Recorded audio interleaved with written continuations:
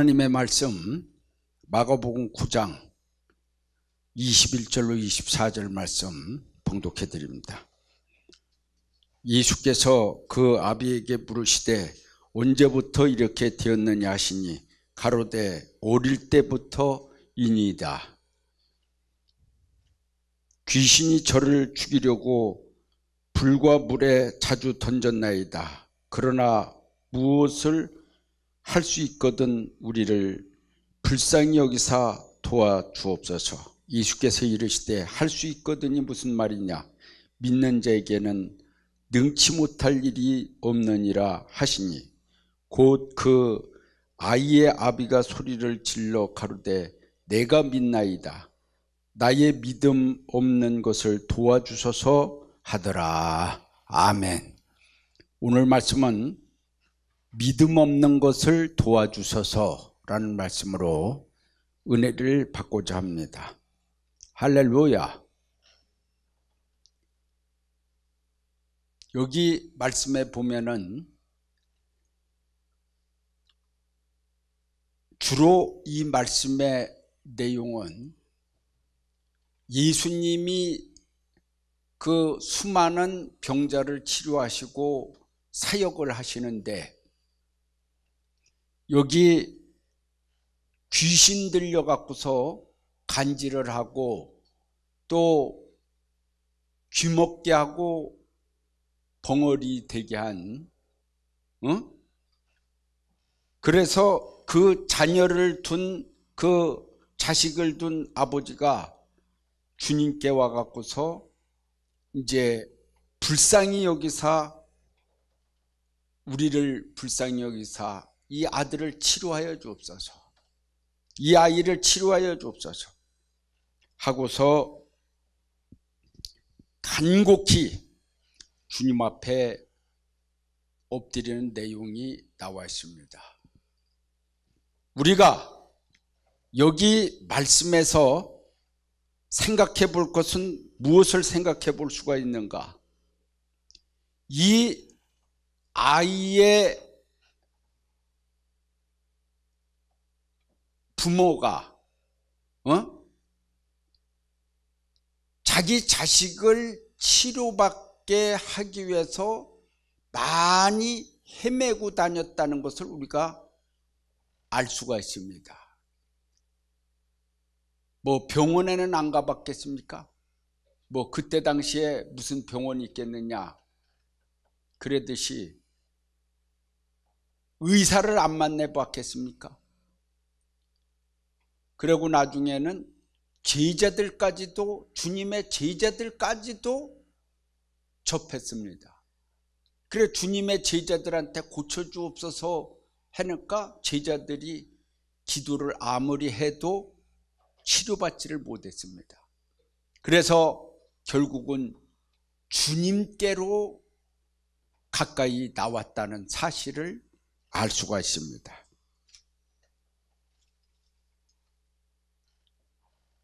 어떻게 해서 이런 병이 걸렸느냐, 언제서부터 그랬느냐고 주님이 물으실 때에 그 아비는 어려서부터 이렇게 귀신이 거꾸로 틀리게 하고 또 거품을 흘리게 하고 이를 갈고 이렇게 했나이다 하고서 고백을 하면서 어? 경련을 일으키고 그랬나이다.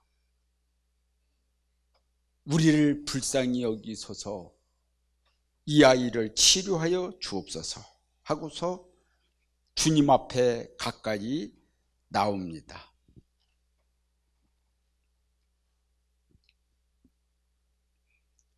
하나님의 능력이라고 그러는 것은 무엇이냐?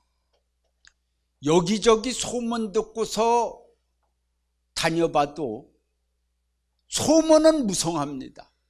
여기서도 주님의 역사가 있다. 저기도 주님의 역사가 있다. 또 다른 곳에도 주님의 역사가 있다고 그러면서 아주 말로는 엄청나게 풍성하면서 다 날 것 같은데 가보면은 헛방을 치고 가면은 헛방을 치고 못 고치고 그럽니다. 결국은 주님의 제자들이 병을 고친다는 그 소문의 소문까지 듣게 됐고 주님 가까이에 있는 제자들까지 제자들 앞에까지 와서 제자들한테 안수를 받았는데도 치료를 받지 못했습니다.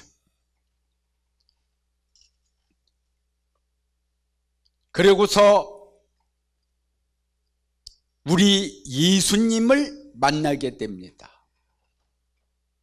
확실히 어떤 소문이 있을 때에 많은 사람들이 그곳으로 몰려가서 어? 하나님의 능력으로다가 치료를 받는 것은 거기에 무슨 소문이 있고 무슨 능력이 있으니까 치료를 받고 사람들이 가는 것입니다.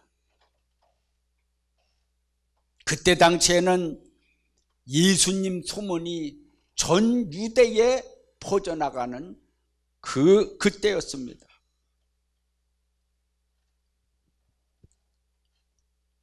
우리를 불쌍히 여겨 주소서, 불쌍히 여겨 고쳐 주소서. 그랬는데 주님께서는 항상 병을 고쳐 주셨을 때에 말씀으로 고쳐 주신다는 사실을 알 수가 있습니다. 물론 손을 대고서 병을 고치시기도 하지만은 말씀으로다가 깨끗함을 받아라 할 때에 치료를 받았고 귀신이 떠나가라 할 때 귀신이 떠나가는 역사가 일어났습니다. 우리 주님은 그 말씀이 복음입니다. 왜냐? 성경을 기록한 것이 주님이 말씀한 것을 기록해 놨기 때문에 주님의 입에서 나온 말씀이 바로 곧 복음입니다. 그럼 복음은 뭐냐? 복음은 살아서 움직인다는 얘기죠. 그러면 주님이 귀신이 떠나가라 할 적에 아이가 깨끗함을 받은 것은 뭐냐? 그것을 기록했거든요. 즉시 복음은 살아서 생명력이 넘쳐 그 즉시 이루어진다는 거예요. 그것이 하나님의 능력입니다. 아무리 주님 복음 주님 복음에도 거기에 어떤 능력이 없으면 생명이 없으면은 그것은 주님과의 먼 거리가 먼 어떤 면에서는 예수님을 증거하기 위하여 그 겉, 겉모양만 증거하는 거라고 볼 수가 있습니다. 사람이 사는 데는 이 옷을 걸쳐야 되는 것 마냥 주님을 소개하기 위한 것 뿐이지 사실 주님이 아니다 이 말이죠. 주님을 만나면 치료받는 것. 할렐루야. 뭔가 덜 만났기 때문에 치료를 못 받는 것입니다.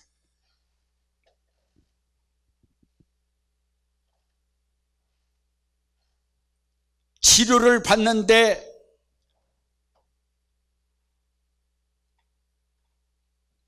첫 번째 치료를 받으려면은 심령의 더러운 귀신을 몰아내는 것은 주님을 만나는 것입니다. 주님을 온전히 만나려면 더러운 것을 제거해야 됩니다. 제거해야 됩니다. 지금 여기에 그 아비와 아들이 만약에 주님을 찾았다. 그러면은 그래서 치료를 받았다. 그거로 온전히 만나는 게 아닙니다. 깨끗이 치료함을 받은 다음에야 예수님을 보게 되고 눈을 뜨게 됩니다. 아, 하나님과 함께 하시는 분이시다. 하는 것을 눈을 뜨게 됩니다. 그 전에는 속에 더러운 것이 있어 갖고서 당장 내 사정만 얘기하는 형편이라는 사실을 알 수가 있습니다.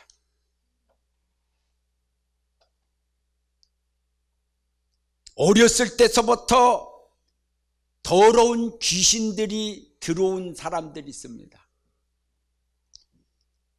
여기에 이 아이에게는 너무나 큰 귀신이 들어와서 능겨베키게 하고 병을 낳게 하고 어? 간지를 주고 귀머거리 하고 벙어리가 되게 하고 이렇게 큰 귀신이 들어왔지만은 많은 사람들 속에 작은 것들이 역사하는 것들이 있어요.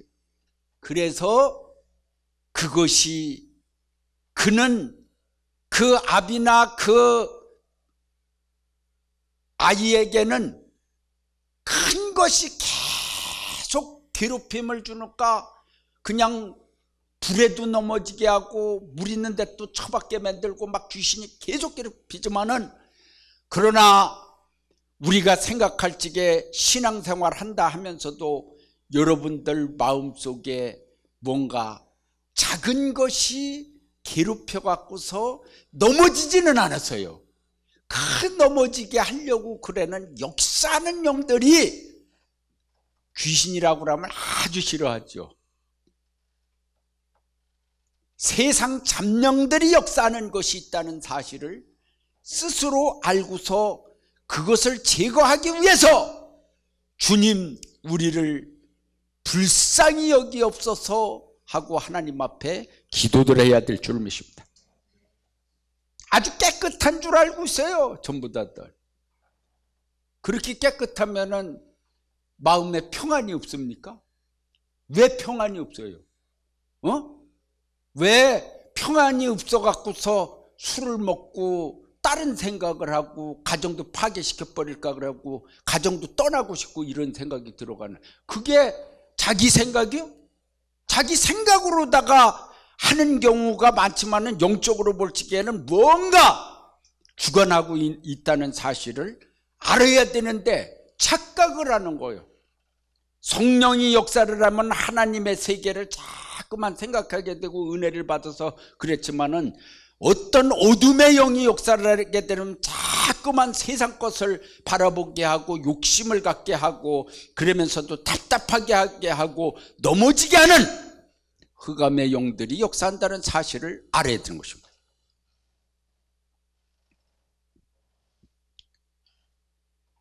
말씀은 아주 굉장히 번드름하게 말씀 말씀 말씀하고 사랑 사랑하면서 이상하게 사랑이 없어. 그러면서 말씀 말씀하면서 말씀이 없어. 그게 무슨 뜻이냐? 생명력이 없다는 얘기요. 그러고서 하나님이 주신 사랑이 진짜 사랑이 뭔지를 모른다 이 말이야. 어? 십자가의 사랑이 뭡니까? 생명 살리는 사랑이 십자가의 사랑이요. 어? 생명 살리려고 생명 살리려고 참아야 되고 노력해야지 되고 어? 목표를 향해서 달려가야지 되고 금방 열매를 많이 안 달려도 좋아요. 40대에 39대 맞은 것으로다가 바울은 영광으로 생각했어요. 많은 열매가 안 달리고 얻어 맞았다니까요. 그럼 나중에는 열매가 됐어요.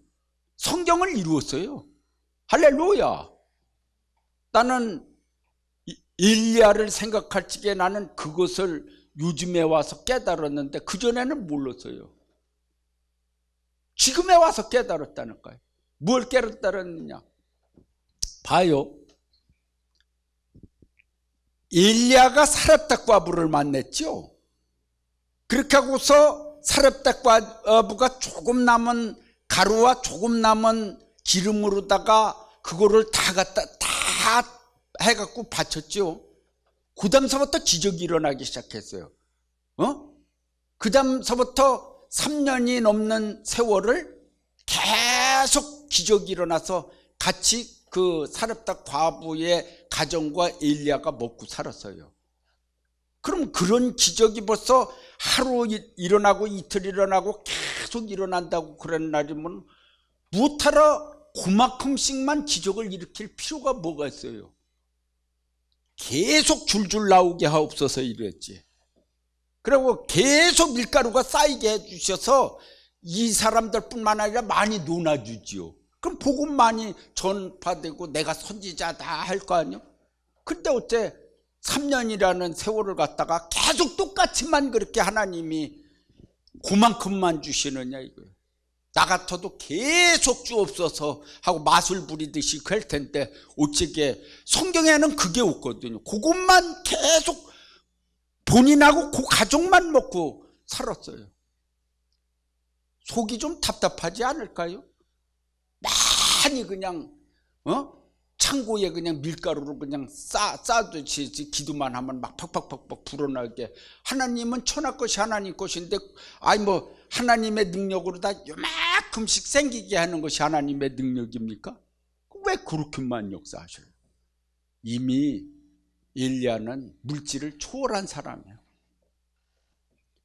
여러분들은 그런 능력만 나타나도 감사하겠습니까? 주의 종들도 그런 능력만 나타나면 그걸로 감사하겠습니까?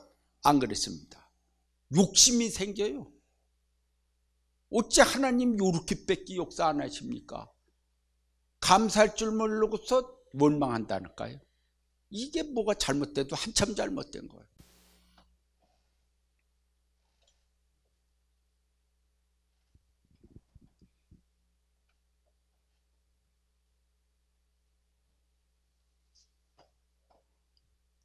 우리를 불쌍히 여겨서 고쳐주시옵소서. 지금도 오늘날도 세상 신들이 들어와 갖고서 우리 마음속에 자리 잡은 것이 있으면은 용서하시옵소서 고쳐주옵소서 이 답답함을 물리쳐 주시옵소서 기도해야 될 줄 믿습니다. 이 사람들만 그게 아니라니까요. 어? 여러분들도 마찬가지로다가 나를 고쳐주셔서 해야 될 줄 믿습니다. 성경 보고 이 사람들만 고침받았네. 그게 아니요. 여러분들도 고침받아야 될 게 많이 있다는 사실을 알아야 됩니다.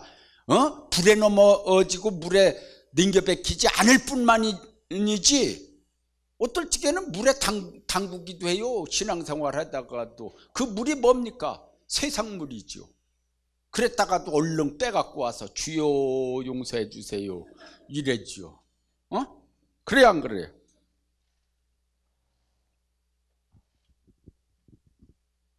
우리를 불쌍히 여겨달라고 기도해야 됩니다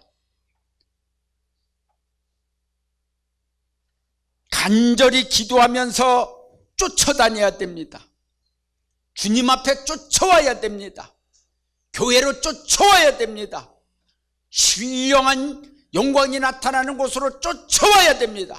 할렐루야! 간절한 소원은 과거에만 이루어지는 것이 아니라 오늘날도 이루어진다는 사실을 믿으시기 바랍니다. 그리고 만약에 치료를 받는데 그때는 이수님을 직접 만났으니까 그렇죠. 지금은 간접적으로 만난다 할지라도 예를 들어 갖고서 이런 환자가 거의 한 70% 치료받고 30%는 남았지만 70%는 치료받았다. 그래도 감사해야 돼요, 안 해야 돼요? 감사해야 되는데 인간의 욕심은 그렇지 않습니다. 70% 치료받으면 가요 그냥 감사하지 않냐고서 에이 다 고쳐주지 않네 하고 가버린다니까요. 그만큼 하나님이 고통을 70%를 덜어주셨으면 그거로 감사합니다 하고서 예배당에 나와서 눈물을 흘려 감사하고 하나님을 바라보고 신앙생활하고 어, 나머지는 나의 죄값입니다 가슴을 쳐야지 되는데 그렇지 않는다 이 말이요 참 안타깝습니다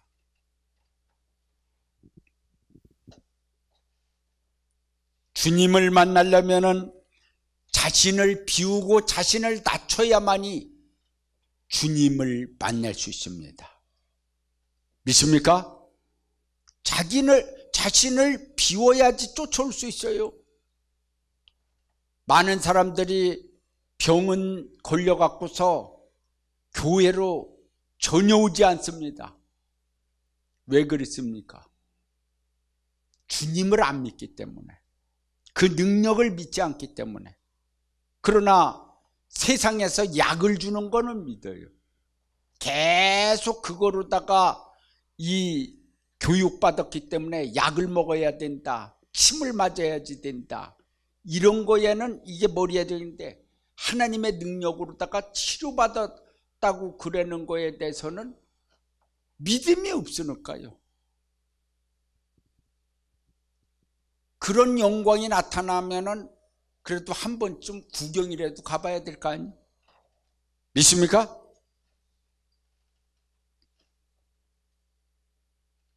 치료를 받고 난 다음에는 더러운 죄악의 찢기를 토해내고 깨끗해져야만이 다시는 귀신이 들어오지 않는다는 사실을 알 수가 있습니다. 세속의 물로 된 잔을 비우고 말씀의 포도주 주님의 말씀으로 채워져야지 됩니다. 치료받은 자는 평생 주님의 은혜 구원을 구원받았음을 감사하면서 살아야 됩니다. 우리는 무거운 짐을 주님께 맡기는 신앙을 가져야 됩니다. 그럴 때 주님께서 다 쉬게 해주십니다. 무거운 짐진 자들아 다 내게로 와라. 내가 쉬게 해주리라. 주님께서 그렇게 말씀하시는 것은요. 병든 자들아 다 내게로 오라. 내가 병에서 너희들을 해방해 주리라. 할렐루야. 온 세상에 염려 걱정으로 무엇을 먹을까 마실까 염려 걱정하는 무거운 짐진 자들아 다 내게로 오라. 내가 그 염려 걱정에서 너희를 쉬게 해주리라. 평안을 주리라. 할렐루야. 사람은 자기가 감사할 줄을 알아야 됩니다. 할렐루야. 사람들이 지금에 와서 제 설교를 이렇게 들을 때에 우대권 목사는 고생을 안 한 사람이다. 그러고서 훈련받는 신앙에 훈련받는 사람들이 상당히 사회에 나가서 고통도 받고 훈련도 받고 있거든요. 그러니까 그렇게 생각할 수도 있어요. 자기는 고생도 안 하면서 어? 설교로만 빤드름이 하지 이런 고생 해봤는가? 요렇게 생각하는 사람들도 있을 수 있습니다. 나는 숱하게 간증했습니다. 거의 35년이라는 세월을 돈이 없이 사는 사람이 돈 전도사 때 교회에서 주는 거 그냥 한 달 먹을 쌀하고 어? 그리고 어디 갈때 차비밖에 안 줬어요. 그래도 나 전도사 어? 일을 했어요.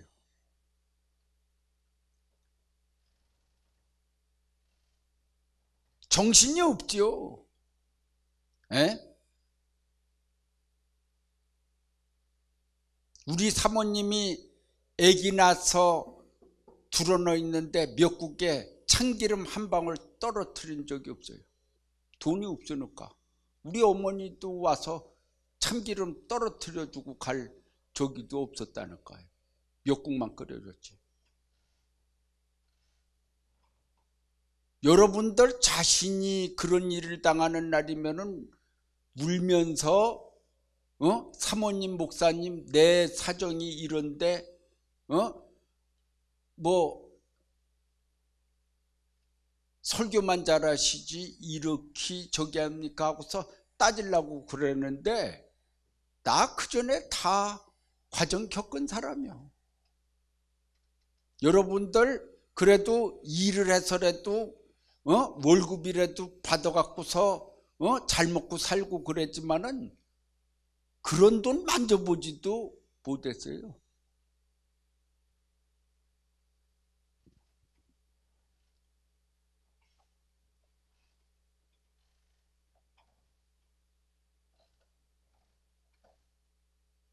오창에 어느 집에 공짜로다가 어, 그 헛간빵을 줬는데 어? 그냥 살아요? 그냥 사는 게 더 무서워요. 그러니까 마당이라도 실어줘야지 되고 무자리 하는 날이면은 그거 어 갖다 저기 밥이라도 우리 사모님은 날려다 줘야 돼. 어떻게 공짜로 그냥 그거 방 하나 비워줬는데 그거 어떻게 그냥 살아? 세상은 그런 것입니다. 그런 거 다 겪고 사는 사람이요. 어? 여러분들이 여러 가지로다가 어려운 사정이 있습니까? 그것을 겪고 나면은 훈련을 잘 영적 훈련을 받으면은 언젠가는 주님을 만나서 해방받을 줄 믿습니다. 그리고 여러분들에게 자유를 줄 줄 믿습니다. 건강을 줄 줄 믿습니다. 복을 줄 줄 믿습니다. 할렐루야! 그 전까지는 여러분들이 주님을 만났다고 말로만 하지만은 아직 못 만난 거예요. 주님을 만나세요. 그러면 주님의 사랑도 배웁니다. 주님의 희생도 배웁니다. 주님이 역사하는 것도 배웁니다. 주님의 복음도 진짜 복음이 뭔 줄을 알게 됩니다. 아직 만나지 못하고서 만났다고 말하는 사람들이 속이 답답한 것입니다. 왜 속이 답답합니까? 여러분들 생활의 형편은 어려울지 모르지만은 주님께서는 항상 우리에게 평강의 주로 다가오십니다. 역사하십니다. 주님을 만난 사람은 초가집에서도 감사하며 어 죽을 먹더라도 감사합니다 소리가 나와야 됩니다. 할렐루야. 저도 전도사 때요. 사실 지금 이렇게 설교를 해서 그렇죠. 음식을 만들어 놓고서 불때 갖고서 이렇게 해먹고 그러면서 그냥 전도사 생활 한 것이지 감사합니다 소리를 못했어요. 그 정도 경지에 올라가야지 뭔가 되는데 그게 안 되고 그냥 아세살량 헤매는 것처럼 그냥 보따리 싸고 이리저리로 헤매고 돌아다니고 그랬는데 이 교회에서 벗어나면 어디 좀 더 교인이 좀 민명이라도 더 있는데 좋은 데 가서 목회를 하나 요 생각만 하고서 어려우면 거기 벗어나는 거예요. 그러면 거기는 더 큰 마귀가 기다리고 있어요 입을 벌리고서 그거 못 이기는 날이면 더 어려움 당해요. 계속 도르고 다니고 그래도 내, 마, 내 마음 속에 채워지는 것이 채워지질 않는데 그것이 뭐냐? 그걸 족하게 여기고 살아야지 되는데 주의 종들도 뭔가 좀 편안하게 살고 싶은 그런 마음이 있는 것이죠.